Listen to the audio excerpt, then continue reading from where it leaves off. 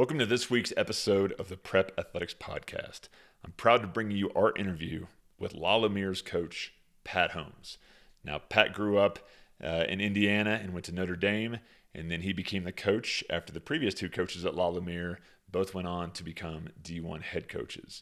Uh, La Lumiere won a Geico National High School title in 2017, and uh, he's had players go to the NBA such as Jaren Jackson Jr., Isaiah Stewart, Jordan Poole, Jeremy Sochan, and he's done the math that contracts that his players are under that have gone to La Lumiere almost hit half a billion dollars. So in this conversation, we talk about what it took to become a national powerhouse, how he schedules, how he builds his roster, some of his coaching philosophies. We also ask him what he thinks it takes to be a D1 guard, and much, much more. So stick around, enjoy our conversation with La Lumiere's coach Pat Holmes. Thanks for joining the podcast. Welcome to the Prep Athletics Podcast. This is Cory Heitz. Some battles. I'm, I'm I'm not sure if they got us. If they did, maybe maybe. So you will get better as a player during that year. So it was kind of exciting. Like, oh yeah, somebody wants me. Pat, welcome to the podcast. Yeah, no, thanks for having me, Cory. Excited to sit down and chat with you.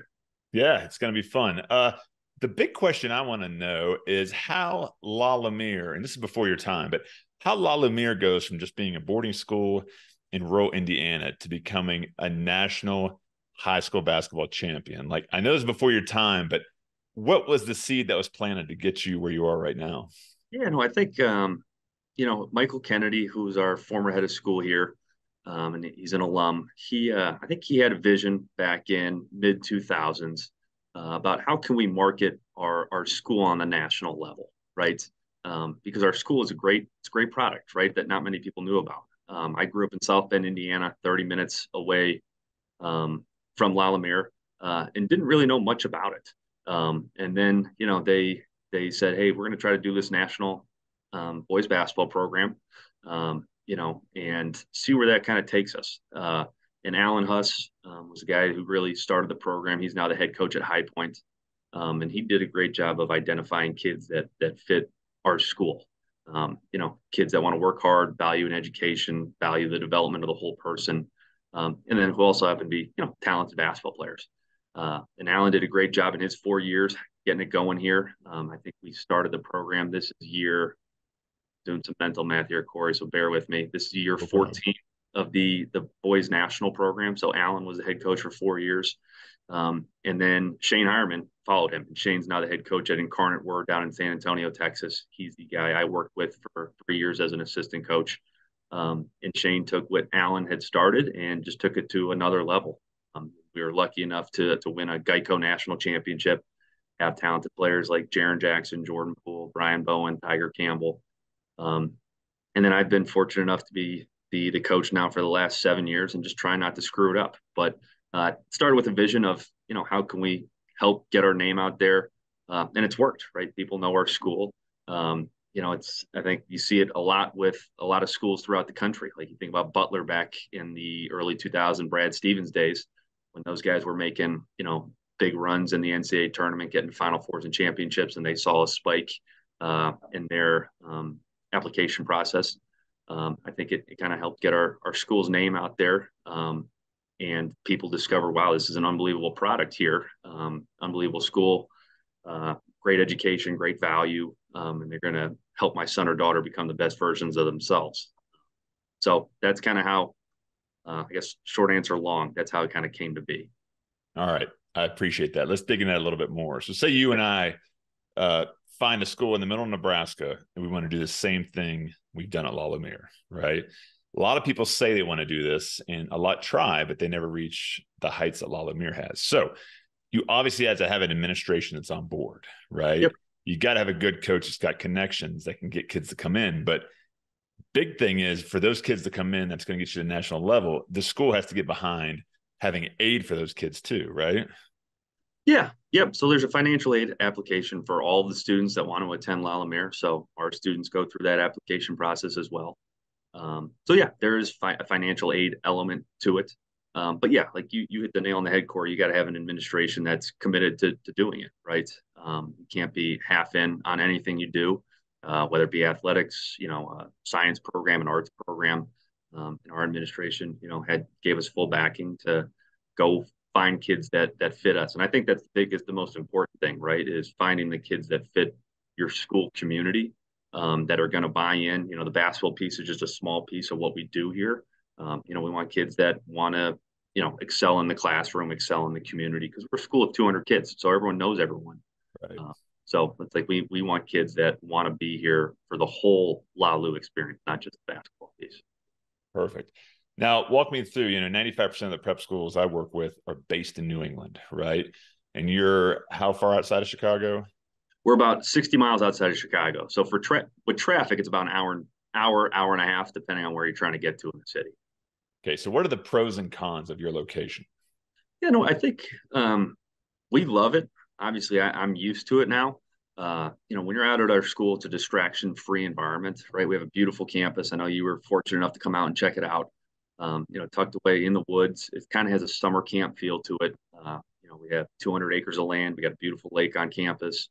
Um, you know, and our our student population is mixed in terms of uh, out of the 200 kids, we have about 120 day students um, and then 80 um, boarding students. Um, so we have, I think, 17 or 18 different countries represented in our student population this year. Uh, but it's nice to have local kids and um, our international students and domestic boarding students all kind of coming together, you know, because you get, um, you know, a good mix of um, cultures that way. Uh, but you know, we're we're far enough away, removed from any distractions, but also like South Bend, where Notre Dame's located, is 30 minutes down the road. New Buffalo, Michigan, which is a cool beach town, um, is about right on Lake Michigan, which is like 10 minutes down the road. Um, so there's enough for our students to do in like LaPorte, Michigan City, South Bend, New Buffalo, um, you know, on an afternoon or on a weekend. Um, and some kids do go into the city, go into Chicago, uh, but it's also tucked away where it's a distraction-free environment where our students can, you know, really learn um, to be, you know, become their own self-advocate uh, and develop into the the whole person. Yeah. And do you guys get most of your players mainly from the Midwest region, or now since you guys are such an international brand, do you get them from all over? Yeah, so for the for the team I coach, which is the, our boys national team, um, it's a combination of both, right? We've had kids from Australia, Brazil, um, Ecuador, China, uh, Jeremy Sochan, who's great, who's from Great Britain, but he's Polish. We've had kids from Croatia, Serbia. Um, so a little mix of both. Um, and then within the United States, we've gone coast to coast. We've had kids from California, we've had kids from New York, we've had kids from Texas. Um, this year, we do have a heavy Midwest population, um, but it changes year to year, just kind of based on, um, like I said, the talent pool and and finding kids and families that you know match well with our school. You just said finding kids and family. Walk me through how you build your national team roster. Are you sitting back, Pat, and and waiting for the emails to come in and then you kind of see which ones you like or you being on the offensive looking for players walk me through how you curate this roster which you know needs to have kids that's going to buy into the school as well and buy into your culture and your system because i've asked this before of other coaches like the coach at findlay prep oak hill and i'm real curious to hear your answer yeah i think we're fortunate enough because we've been doing it long enough where people um, they know us they know our coaching staff they know our school um, and they know kids that you know we're targeting and kids that fit well and have succeeded here. Um, so whether it be uh, college coaches, um, travel ball coaches, AAU programs, um, reaching out and saying, hey, they have a kid that's looking to you know possibly go to a, a boarding school situation for their junior or senior year, reaching out to us, and then you know we do our homework. Um, and some of it is families just reaching out via email and trying to learn more about the school. But I would say 90% of the time, um, it's someone in the basketball world, at least for our team, uh, reaching out to us um, that we have a relationship with, saying, "Hey, there's a kid or family interested in exploring your school. Um, would you like to, you know, get the conversation going?" So, um, and then in the spring and summer, our coaching staff we're out and about uh, at all these AAU events and camps, um, watching and evaluating kids. Right, so um, you know, from the basketball piece, seeing how skilled they are. But, you know, when we're watching the games, we're also seeing how they interact with their teammates, how they interact on the bench when things aren't going well. Um, after the game, are they cleaning up the bench? How do they interact with media? Um, and then also, crazy enough, how do their fam- like how do their parents, um, you know, carry themselves and conduct themselves in the stands? Uh, it's just little things like that. That's stuff that we we pride ourselves on, um, and just try to do a, as best homework as we possibly can. This is going to be a PSA for people listening here, but let's say you've got two players of equal ability. One's got great parents, and one's got very vocal, kind of off hinged parents. I think I know the answer to this one. Which one are you going to try to attract to La Lumiere? Yeah, I, I, mean, I think obviously it's a, we would go with the the one that conduct themselves the right way, right? It just um, you know, we want to find people that are about the right stuff, right, and conduct themselves the right way. Um, and don't get me wrong, we're all human. We're going to have those moments where we like I might catch somebody at a bad moment. Um, so we we try to do it, have a larger sample size more so than just one game or or one interaction uh, before we we jump to conclusions. But um, yeah, I mean that that has you know made or break a couple of decisions for us um, moving forward, and I'm totally totally fine with that.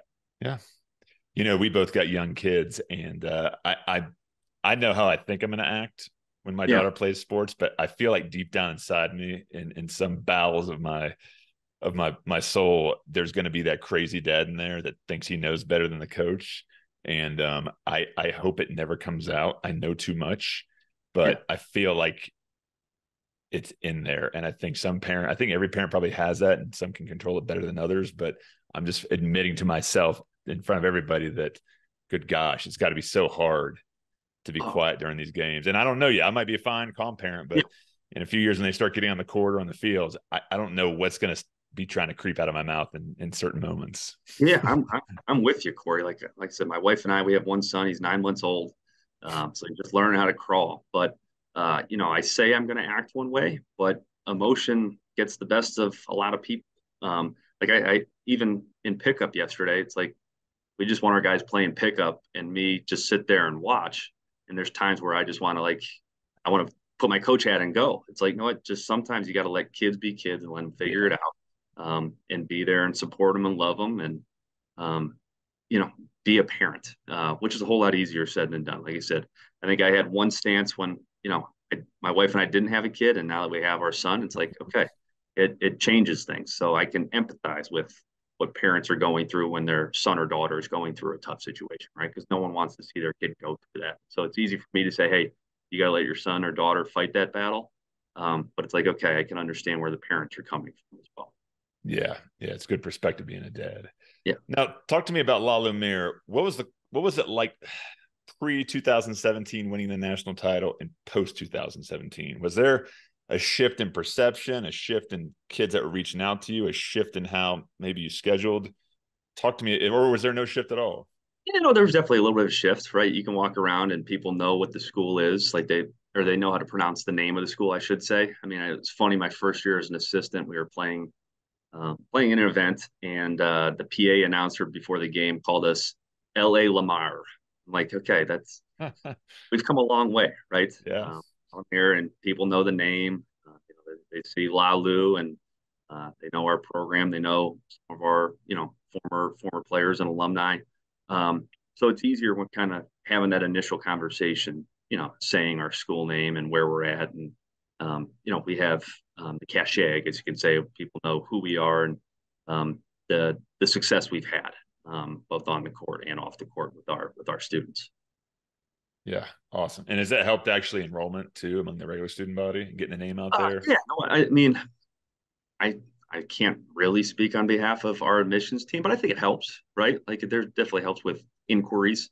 Um, but I think our school as a whole has done a really good job growing and um, you know becoming just a great brand nationally um, outside of our basketball program, where families, you know, they want a great independent private education for their son or daughter. Um, and we've kind of found that niche um, from a boarding school and private school in Northwest Indiana. Because, like you said, you know, a lot of them are concentrated in New England. Um, there aren't a bunch in the Midwest. So we've kind of targeted that niche um, and done a really good job of capitalizing on it. Absolutely. Now, tell me this after 2017, when you took over the program, what did you incorporate uh, in your coaching philosophy and style and culture that maybe wasn't there prior? Yeah, no, I think the, the guy I worked for, Shane Heirman, did such a great job of building um, a culture here of toughness, togetherness, um, you know, attention to detail. Um, and, you know, every coach has to be their their own person. Um, so I try to incorporate a lot of what Shane did um, and we still do it today uh, in terms of early morning lifts. Um, you know, where guys are we're in the weight room at 5:30 lifting.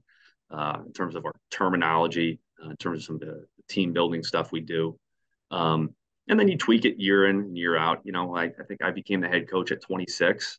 Um, and I look back at it, it's like, man, I was pretty terrible as a head coach at 26, right? And even now at 33, it's like, man, there are some things like that was not good, right? That you, you learn and you try not to repeat. Um, but you know, I was fortunate enough to, like I said, follow a, a, a guy in Shane who, you know, was a great mentor. He challenged me um, every single day um, to become a better, better coach, better teacher, better leader.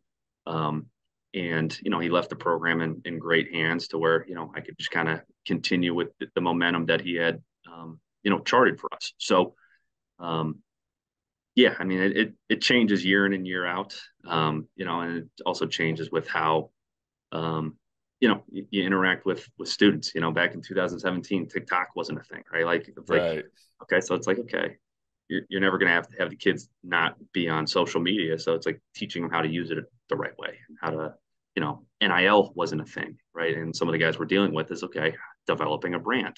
Um, so it's continuing as coaches to, to educate ourselves and, and help educate our students um, so that ready they're they're ready when they step foot on a college campus, you know, uh, their freshman year. Yeah, love it. Now we talked this summer, and and uh, one conversation we had, you were doing some math on all the NBA contract uh, money that La Lumiere alums were, have either made or were going to make based on what they signed. Yeah. Tell me about that and what you found out. Oh man, I wish I can't remember if it was a half a billion. It it's was. a lot.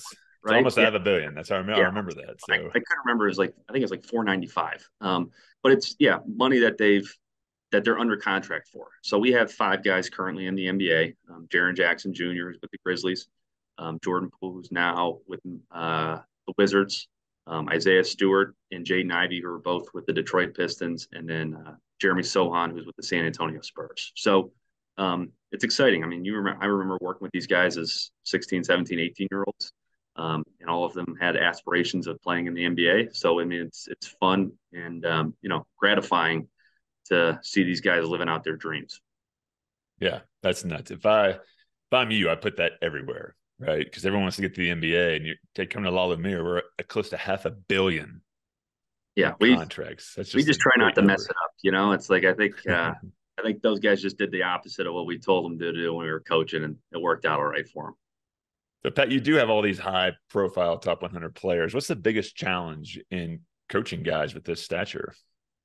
I, we really don't run into a bunch of challenges. I think the big thing is just um, getting everyone on the same page, right? Playing together, helping them understand.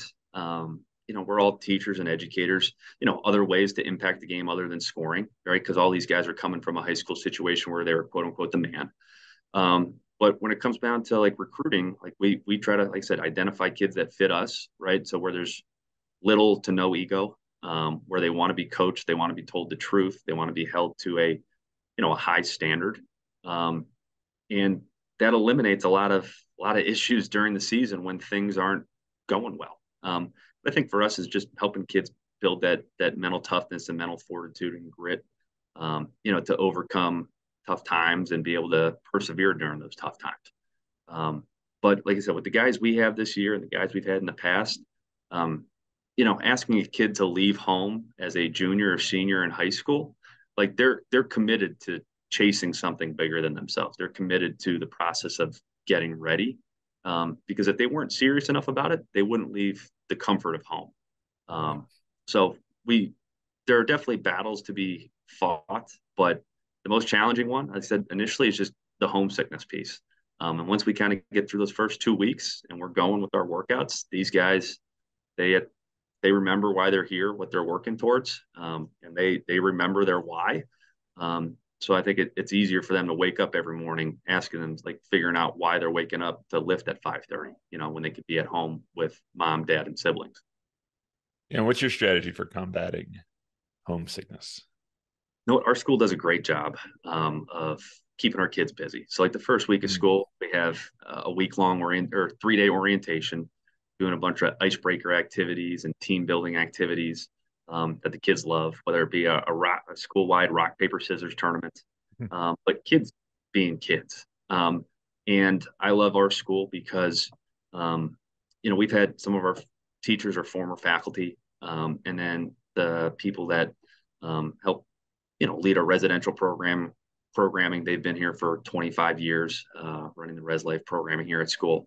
Um, so we have faculty members that have seen anything and everything, right? With when it comes to dealing with teenagers and adolescents um, and young adult adulthood. So it's not just a basketball coach leading leading a school. It's there's a great community here of teachers and faculty members and staff members um, looking out for all of our students. And um, we're all working as a team, just like our students are working as a team to give them the best experience to help them um, to develop into, like I said, you know, best versions of themselves.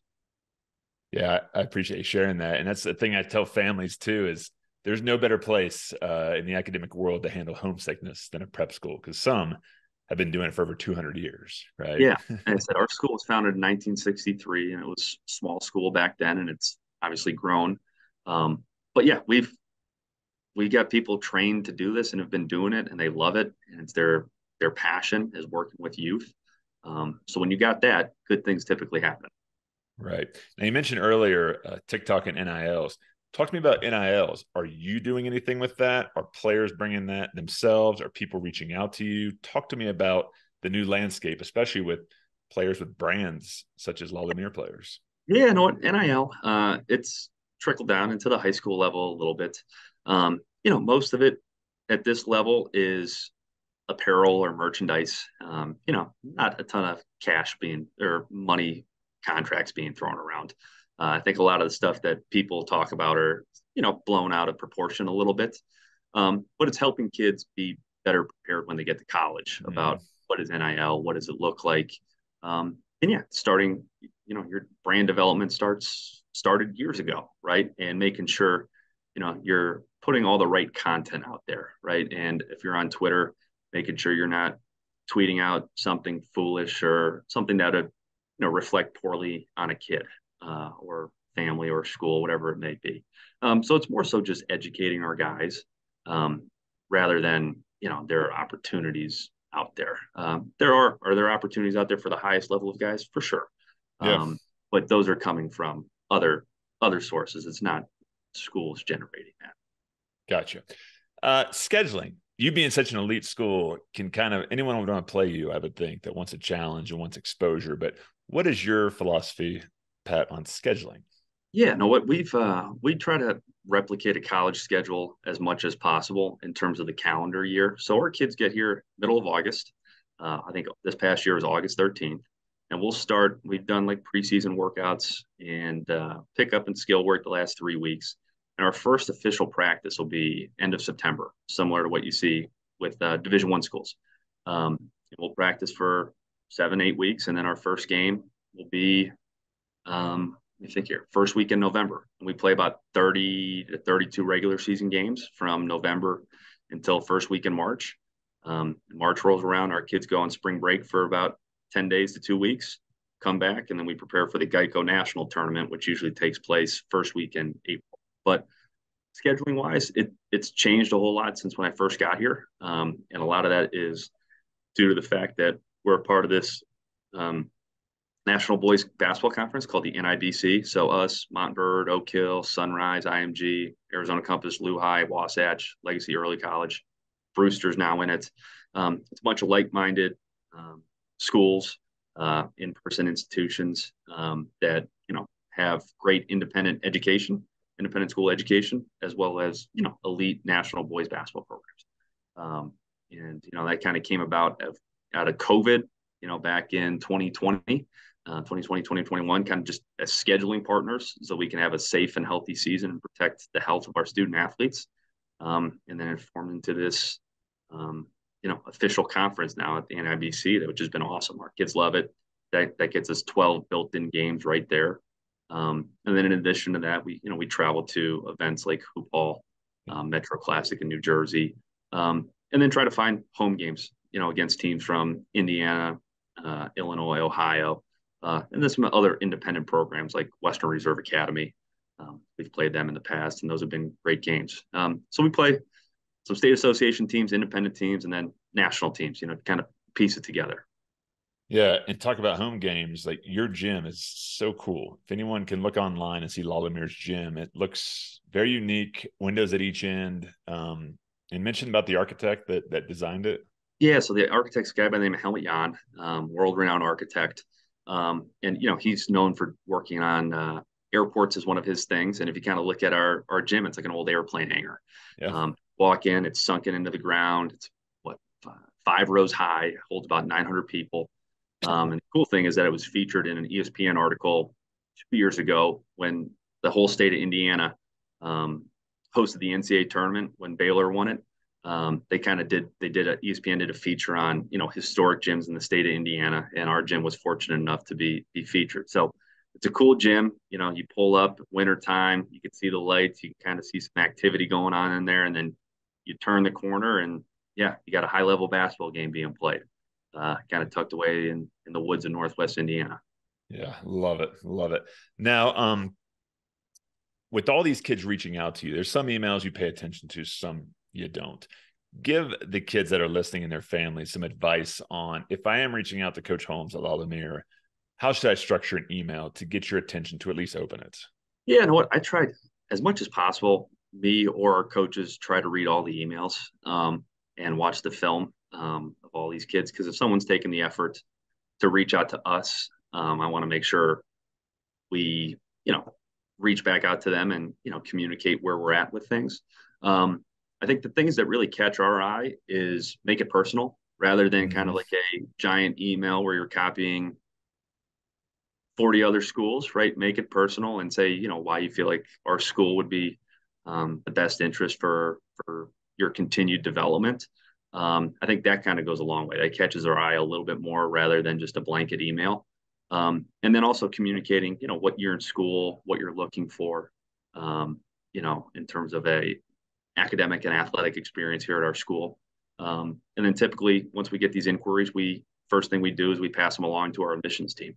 Um, so Mary Cor- Mary Pickens, Mary Mary Corzones, sorry, and um, Jay Blakely, they do a great job in our admissions office. Um, so we um, typically forward those on to our admissions office, and they take it from there. So, and that's when we gauge really if the family's interested or not. Sure, gotcha. Anything in an email besides non-personal that you don't care for or that you kind of pass on? No, no. I mean, I think it's helpful just to include, like I said, if it's for basketball in our our case, you know, highlight film helps or game film, um, so we can get a, a good evaluation of where um, a kid may be at in their their development.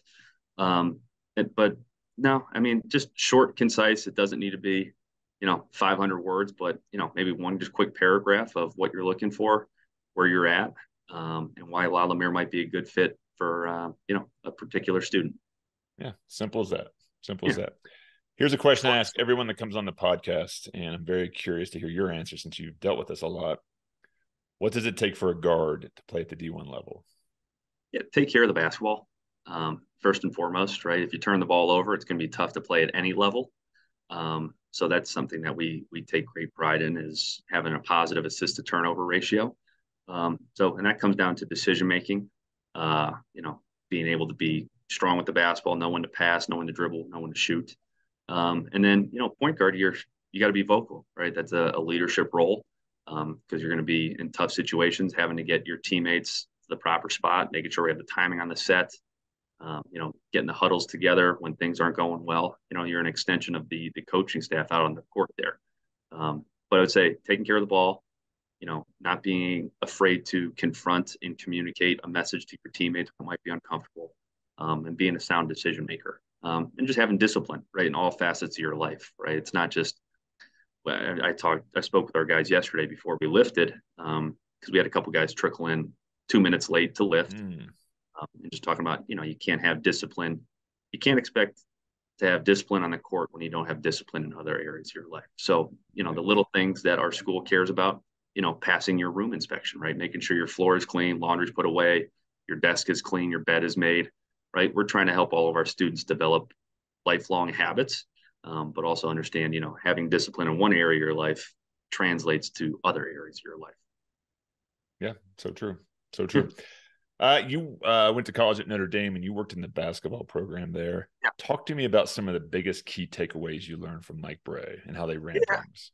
Yeah, I think Coach Brey's biggest thing is, um, you know, with his coaching philosophy, was be the coach that you would want your son or daughter to play for. Right? He he worked under um, great Morgan Wooten at DeMatha, who I know you probably had some battles with when you were coaching at Gonzaga in DC. Um, Well, but he'd, Coach he'd been he'd been gone since then. Yeah, and I know yeah, he's been gone, definitely a figure. yeah, you know, you know the history. Um, yeah, Yeah. you were you guys were coaching against Mike Jones. Um, That's right. But yeah, And, jo- and and Morgan's son Joe is over at O'Connell. yeah, so. over at O'Connell, and he, Joe does a great job too. But um, you know, I think Coach Brey's just philosophy of kind of being a player's coach, right? Being a, a coach that you would want your son or daughter to play for. Um, you know, he's kind of laid back, loose, gave his players freedom, um, but he also recruited kids that fit the Notre Dame mold, right? That valued the the education, that valued the experience. Um, you know, he wasn't going out and getting one and dones. He was building a you know building a program with guys that would develop during their time at at Notre Dame. So uh, you know, you'd see that there were a lot of times where freshmen might not play a ton of minutes. By the time those guys were sophomore, junior, seniors, they were you know all conference selections or all American selections. Um, so just you know identifying kids that fit kids and families that fit you as a coach, um, but also really investing in the the player development aspect and understanding that um, it's going to take some time. You know, um, ours is a little bit different because we typically with our team, you know, we try to get kids here for two years, um, so it's a little bit of an accelerated growth.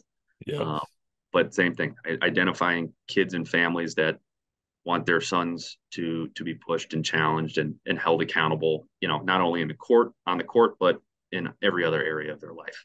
Um, but yeah, with Coach Brey, it's you know, be you, um, but you know, in the back of your mind, you know, you want to be firm but fair as a coach, right? Like it's who would you want in my case who would i want my son to play for i want i want him to play for somebody that's going to tell him the truth but is also going to be firm and fair right um, if he's not good enough he's not good enough um, but if he is good enough you know um, he's going to be playing but if he's also messing up i want somebody to um, you know bring that to his attention and help him you know get better uh, that's kind of the root of it all Perfect. And then you went from there to Florida State uh, to work with Leonard Hamilton.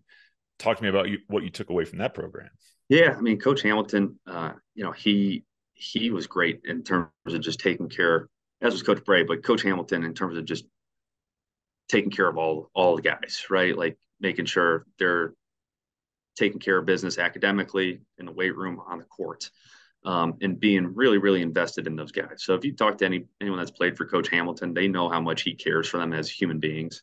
Um, you know, helping out his former players with um, professional opportunities, whatever it may be. You know, he he cares for his guys so much and loves them all um, so much. Um, and you know, I think the player the players know that. You know, he cares and loves for them, and um, he's also not afraid to challenge them. You know, when he when he picks his spots, but he's kind of like the uh, you know when I was there, he's like the the wise sage, right? When when coach speaks, everyone everyone listens um, because he.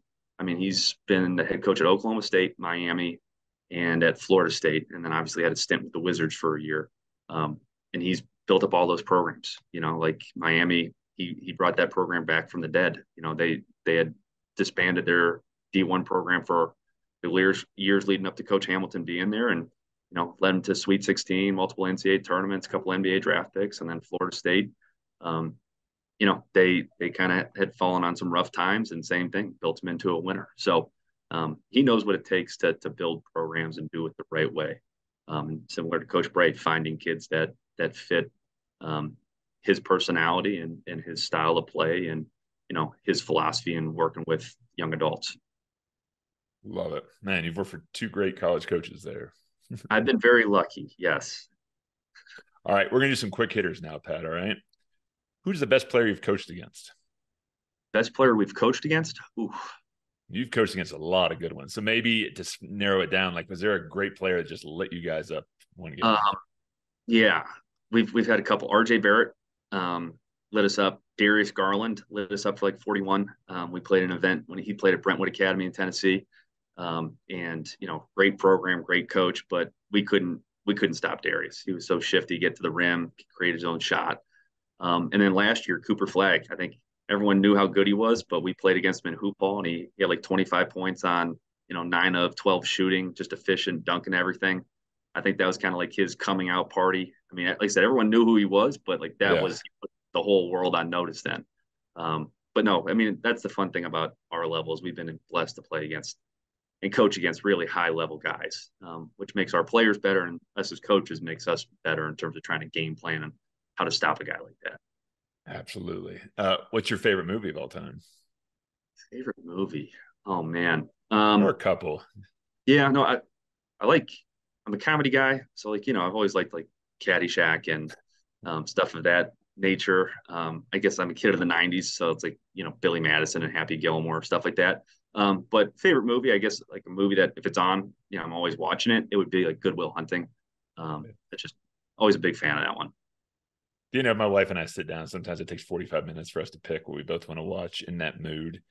Yeah, and it's probably all the time. It's like we can always throw in Caddyshack. You know, we're yeah. not we're not gonna have a bad time reciting lines back to the screen. No, no. I mean, we kind of grew up on reciting those lines. Anytime you go out to the golf cart, you know, acting like you're golf course, acting like you're Carl Spackler. You know, it's like, mm-hmm.